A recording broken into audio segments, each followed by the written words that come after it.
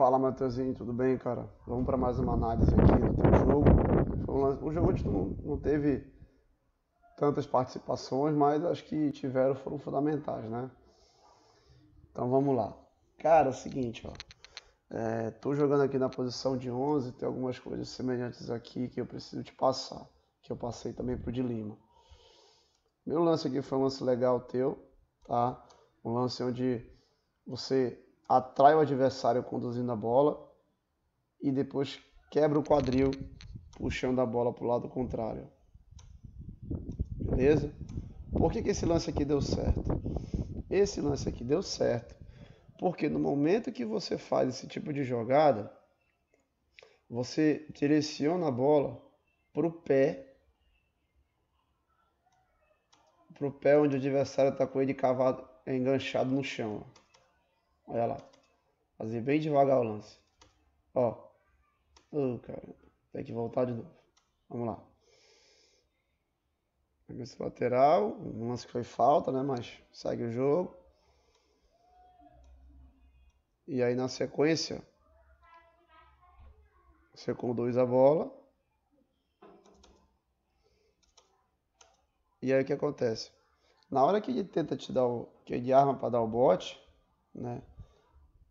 Esse jogador aqui tenta armar para dar o bote. Esse pé dele está no chão. Ó. E aí é, é, justamente por isso que dá certo o teu drible.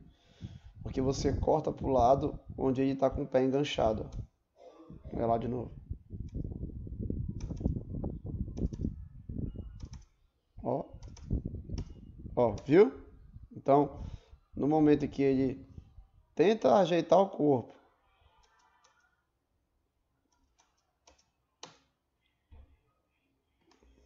Deixa eu ver se eu consigo acertar aqui. Tá difícil aqui de conseguir parar o lance.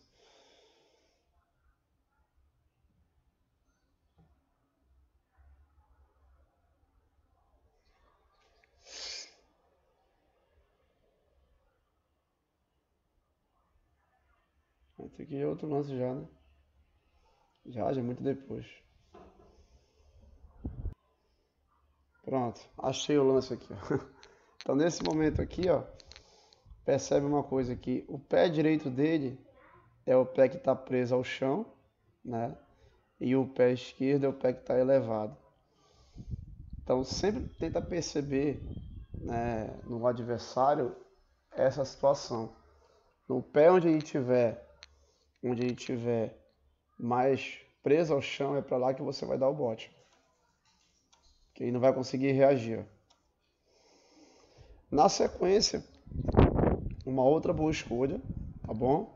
Uma outra boa escolha, que foi achar o 9 que já estava balançada para o lado da bola.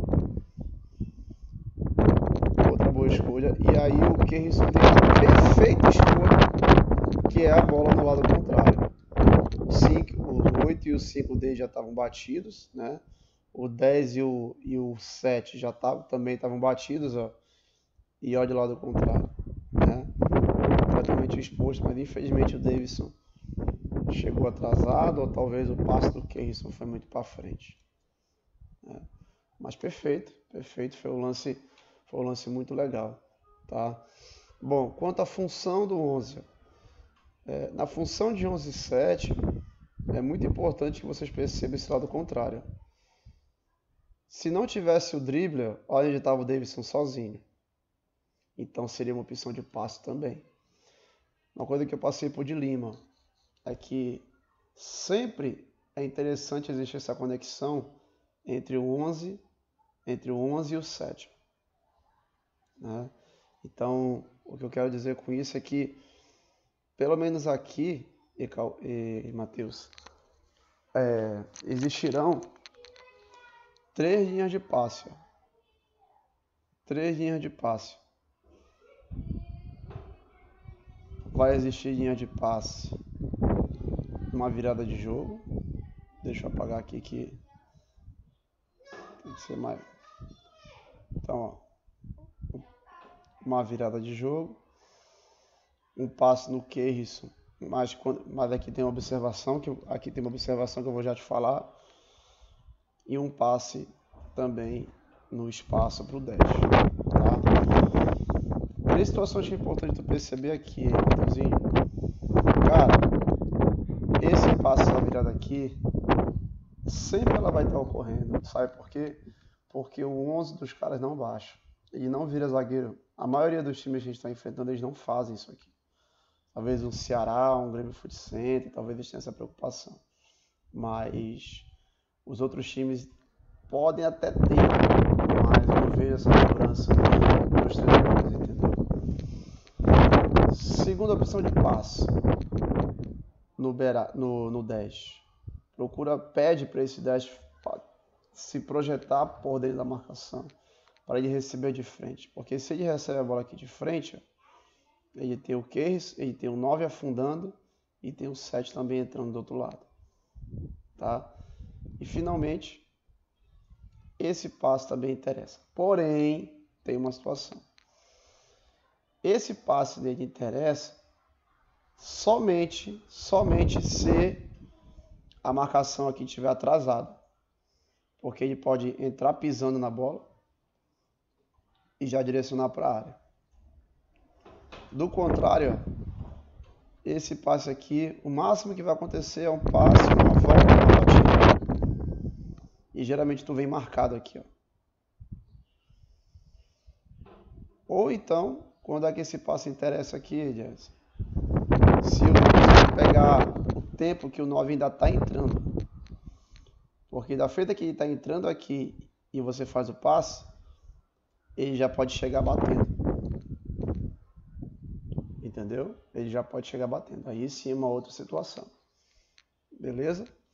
Então lembra, a tua posição de 9, a tua posição de 11, ela tem como objetivo ela dar amplitude e manter a posse de bola. Esse é o teu objetivo aqui nessa função, nessa posição. Agora, qual é a tua função? É dar sequência ao jogo através dessas três situações aqui. Entendeu?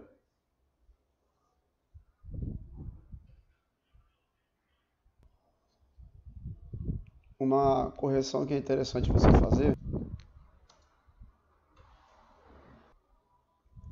uma situação que é interessante você estar tá atento, Matheus.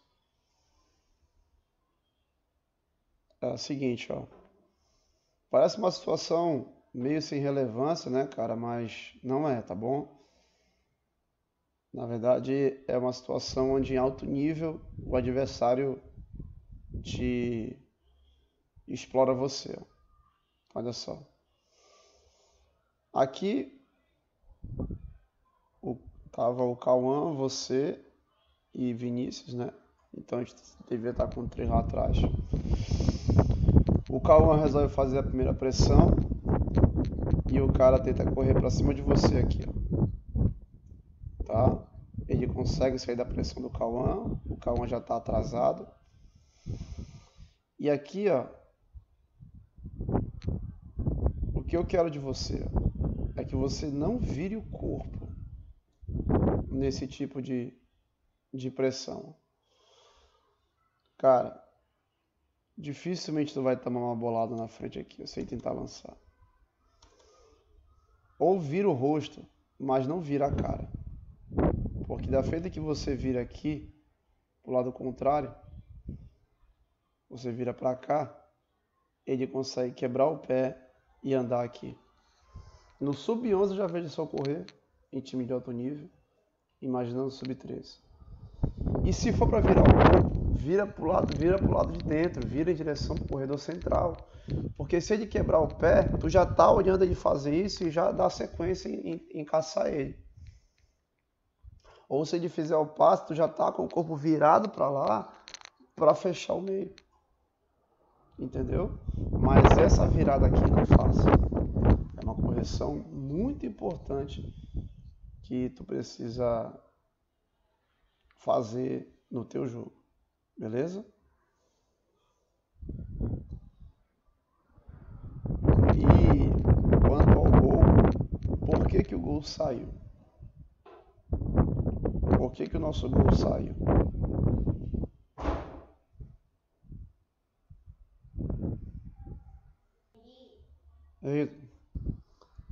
Então, por que, que o gol saiu aqui, Matheus? Vamos tentar entender.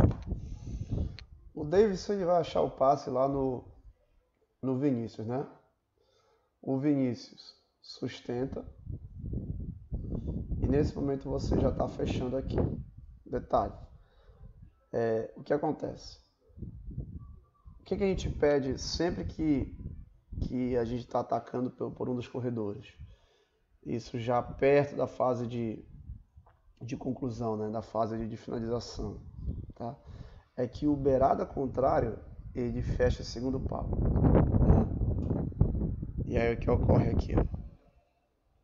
É justamente o que ocorre, porque no momento que, que o Vinícius recebe e vira para bater, você não para de correr.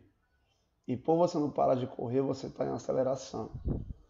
E quando está em aceleração, para aumentar a velocidade, é mais rápido do que está parado. Entendeu? Então, por isso você consegue pegar o rebote e fazer o gol. Então, isso aqui é muito de treino. Isso aqui a gente sempre está falando no treinamento para vocês: fechar segundo pau, fechar segundo pau, conferir segundo pau, conferir segundo pau. E essa foi uma, uma consequência do nosso gol, do nosso treino. A consequência do conceito. Entendeu? E conta também a parte da atitude, né, da atitude de não desistir do lance, de perceber todo o lance e antecipar as ações.